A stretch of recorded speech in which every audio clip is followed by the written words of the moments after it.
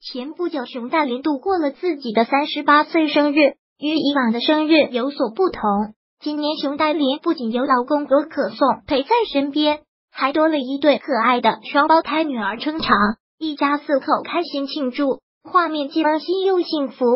日前，熊黛林与林家欣出席某品牌的活动，只见一身黑色抹胸礼服打扮的熊黛林，看上去既高贵又有气质。生完女儿半年之前的名模气场已全然恢复，但即便瘦身有素，熊黛林仍然逃不过产后水桶腰的折磨。以前做模特时什么衣服都能穿，现在则都要改了。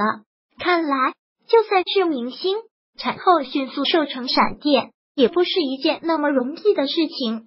在活动上，熊黛林也与一般记者朋友们大聊带娃经。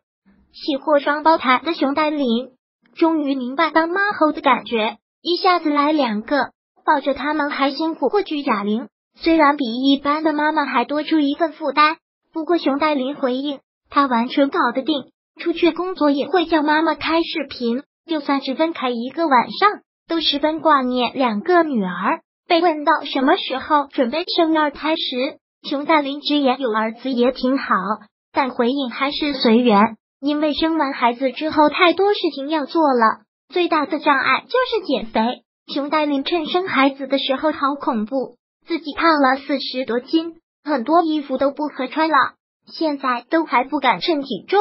生完孩子马上投入锻炼的熊黛林，坦言现在减掉了二十多斤，但她对自己的体重要求很高，所以至今还没减到目标体重。虽然还没有又瘦回自己理想的身材。但对于生完孩子才半年的妈妈，熊黛林也恢复的很好的了，仍旧美的不可方物。这方面就一定要夸夸熊黛林的老公郭可颂了。熊黛林产后恢复时，郭可颂就时常陪伴在熊黛林一起锻炼，给予熊黛林信心和鼓励。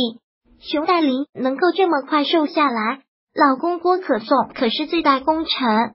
如今两人有了爱的结晶，二人世界变成了奢望。两个女儿还小，熊黛林与老公郭可颂也不能到处跑。前两天熊黛林生日，也是待在家里跟一家人切蛋糕。不过有两个宝贝的陪伴，肯定比去任何一个旅游胜地还要幸福呢。